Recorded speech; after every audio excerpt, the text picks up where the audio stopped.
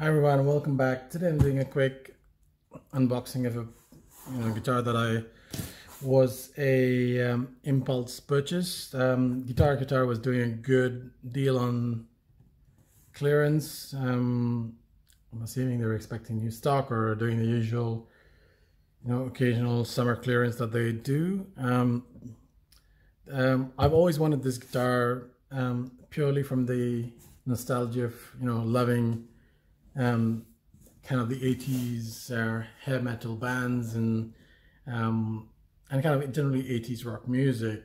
Um, and Kramer back then was the big name, so I went ahead and purchased a um, Kramer Baretta guitar from Guitar Guitar. Um, and we're just gonna do a quick unboxing to see what comes in the box, um, etc. And to see what the guitar looks like um, and just you know first impressions when I when I open it up. So it goes. Uh, this obviously comes in a extra guitar guitar packaging, and like the last few guitars I've opened. I'm just gonna open this up. hmm. Random plug box in there. I'm assuming just to because these come in the sort of st standard odd shape guitar box that you get. Uh, I think it's just probably just a filler. No, they haven't given me a few free um, plug 2 headphones, so sad, but it's fine. Um, this comes from Newcastle Registry, right? Okay. Let's take a look in here. It's not very impressed with that. Box is upside down. Um, although I opened it, yeah, I mean I opened this the right way up because you can see the guitar guitar logo. Someone in a hurry to box this, but it's fine as long as the guitar is in one piece. Uh, it doesn't really matter. Um, I don't care as much.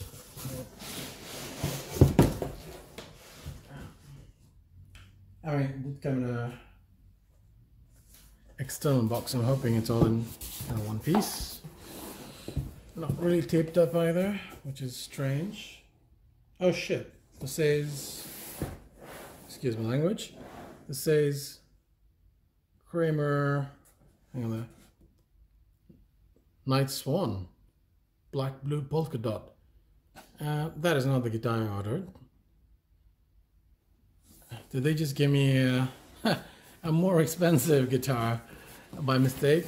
Uh, well, let's find out. I'm hoping so. Uh, but I will return it because it's not right. No, it is the Baretta.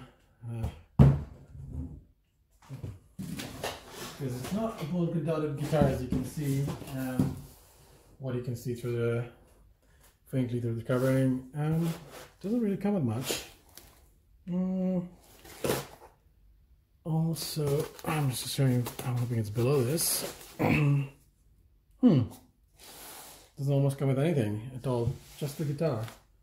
Uh, I was hoping there'd be like a little bag in there with, um, I mean, you get a nice Kramer logo. I'm going to put this up in my guitar room. I, I lo absolutely love kind of, you know, 80s era guitar logos and they're so cool. Uh, um, Actually, I think I'm missing something. Unless it's inside this. Let's take a look anyway. Um, this is a Floyd Rose guitar, so I'd expect Allen Keys, uh, Floyd, Ron, Floyd Rose on perhaps? Uh, okay. All this packaging off. Headstock comes nicely, nicely wrapped up. So it's kind of the banana shaped tilt back headstock. So don't want that breaking at any point in time. Sorry, the camera something for forward something. Okay, so this is a Baretta in um, in pewter gray. I mean, you can see several demos of this, um, and it's a really nice demo of this these guitars. Um, but they're just you know very simple 80s kind of shred shredder's dream kind of guitars to to play. Um, comes with a Seymour Duncan JB in the bridge. Um, and has is the only guitar that I know that, and you can correct me if I'm wrong here, that has a a maple body um, and a maple neck, um, which makes it quite a bit heavy um, for a guitar with almost not much to it. Um, I mean, I like heavy guitars, so I won't complain, but it's got this really nice, cool, kind of angled Seymour Duncan pickup. Um, comes with the Floyd Rose 1000, so obviously this is an upgrade, um, kind of for this price point. Um, I paid um, 400 pounds for this, and normally they retail around 600, 700, I believe. Um, but don't quote me on that. Check that. Ah, this comes with a push pull um, pot to split the coils. Um, yeah, I mean, there's not much to really talk about this guitar. I'm just going to go over to make sure there are no kind of blemishes or anything. Comes with the well, tele Telecaster's kind of kind of side jack. Obviously not recessed the same way, but it doesn't have the usual kind of um, square jack plate or um, the rugby ball jack plate. And then obviously, you know, the the good old kind of Kramer headstock. Um, there you get the banana shaped headstock, whatever you want to call it. Um, I mean, it doesn't scream kind of 80s uh, hard rock. Uh, I don't know what else does. Um, it's not a compound radius. Um, it's a 12 or 12, um, 12 degree radius all the way through. Um, but the neck feels nice. I mean, I've heard terrible reviews in some of these with, with saying the build quality is absolutely rubbish um, for the price, but um, so far so good. And comes the Edge serial number, which I haven't seen for guitars this price point. It is cool. I mean, not that the resale value on this is going to be ever great. Um, I also really like this feature. Um, I don't know whether Kramer started it or, or not, but I like the fact that you all your tools, your uh, you know your Allen keys that I was looking for earlier, I'll just you know screwed on here. You just take these off, use them, put them back on. Very important in a Floyd Rose guitar because you don't want to not have those when you when you break a string. Um, again, nice Kramer stamped um, neck plate, um, really beautiful. I mean, Strat style, dare I say, contours. Um, yeah, I mean these are coming back in fashion. Kramer is Kramer is making a comeback.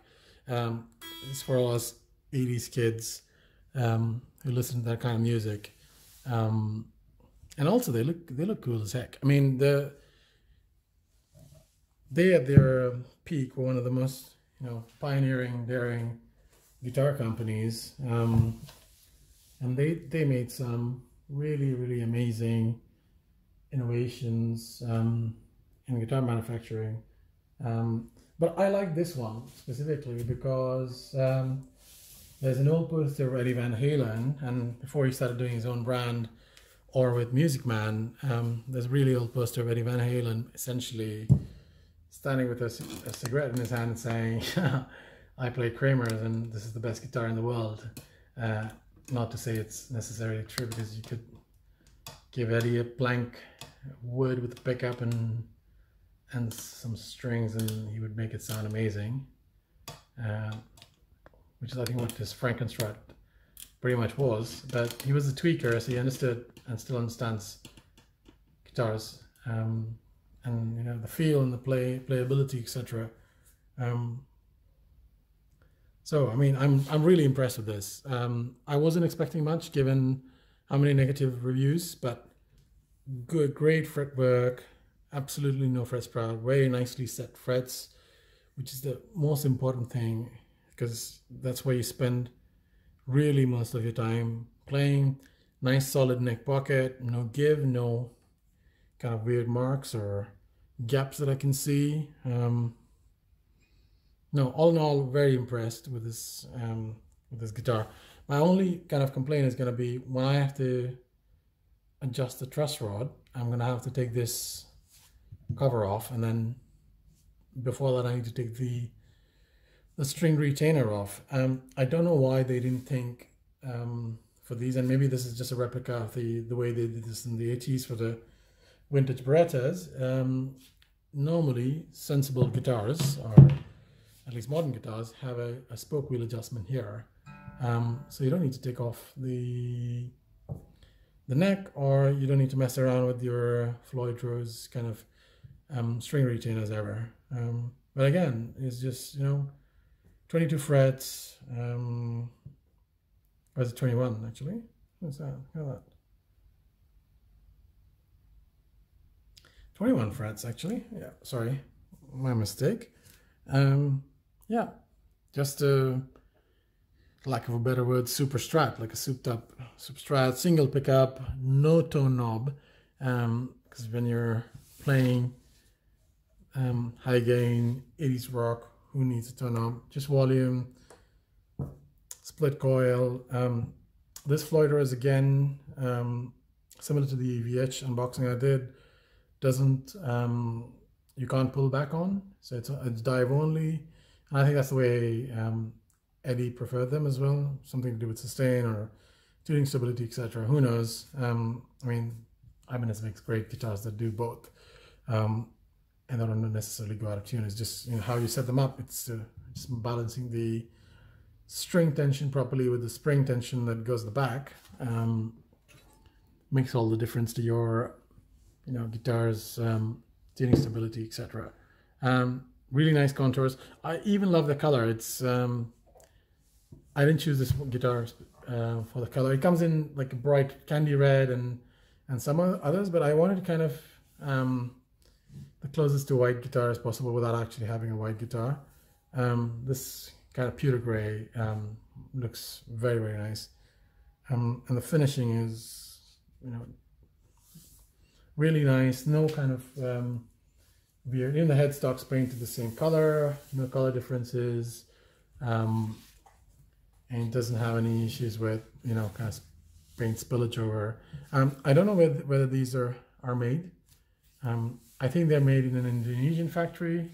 Um, like every other, most of the guitars these days, even PRS is a really good um, Indonesian factory run by Cort but yeah, I mean, it doesn't matter. I'm not, um, as long as the guitar is good, plays well, looks nice, um, I'm really not fussed where it's made. Um, I have a Gretsch that's made in China and it's uh, impeccably built, um, even far better than my Mexican made Ventara Telecaster, which had you know some finishing issues. So there you go. It doesn't, um, as long as you have the right professional um, trained up, it doesn't really matter where these things are made. Um, but that was it. Um, um, nothing much to it. Like I said, very, very simple, you know, um, straightforward guitar. If you've liked the video, please uh, like and subscribe. Uh, let me know in the comments below. Um, yeah, there you go. Just going to do a quick run through.